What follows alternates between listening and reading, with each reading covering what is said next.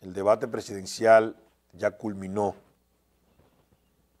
Tenemos un invitado que con él vamos a hablar de ese tema y de otros acá en el espacio contra todos. Perdón. Pero eh, yo quisiera puntualizar en torno al debate y es que independientemente de la percepción que genera el debate, una percepción que es relativa, porque cada partido, cada grupo, naturalmente se va a identificar con el candidato de su preferencia. Eso tenemos que tenerlo claro. Son impresiones relativas las que veremos en las redes sociales y en la opinión pública. Cada quien es de su óptica. Pero independientemente de esa percepción que genera el debate, que no es una percepción que va a influir en el electorado, sino más bien es una percepción para discutir en la opinión pública. Eso no va a determinar nada, ni va a cambiar la percepción de lo que pueda ocurrir en las elecciones del mes próximo, las elecciones presidenciales y congresuales, lo ocurrido en el debate, la percepción que genere, repito, las contradicciones, las posiciones, lo que se conceptualizó en el mismo, las ideas, las estadísticas, no van a influir en nada, no van a cambiar el resultado de lo que pueda pasar. Estamos a días de las elecciones.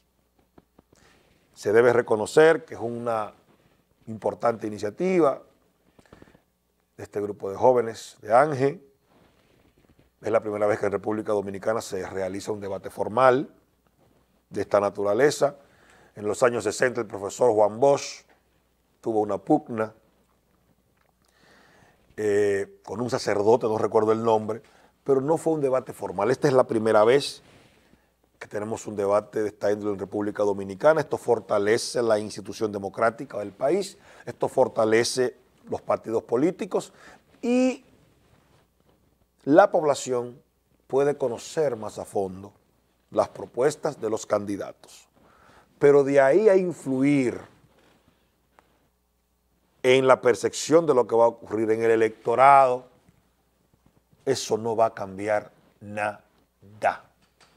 Y yo creo que no tenemos que ser un gran analista político, no hay que tener una bola de cristal para saber lo que va a pasar en mayo.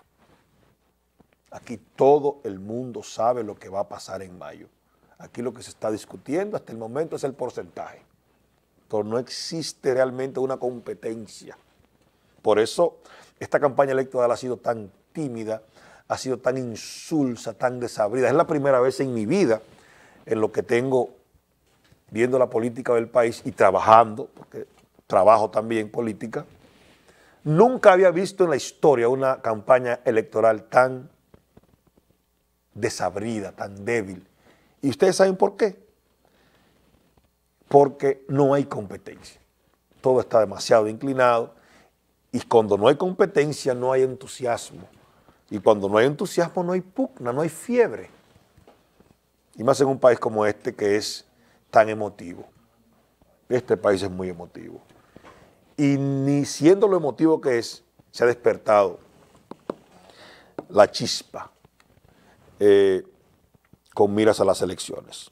Y reitero, el debate no cambia nada. Todos sabemos lo que va a pasar.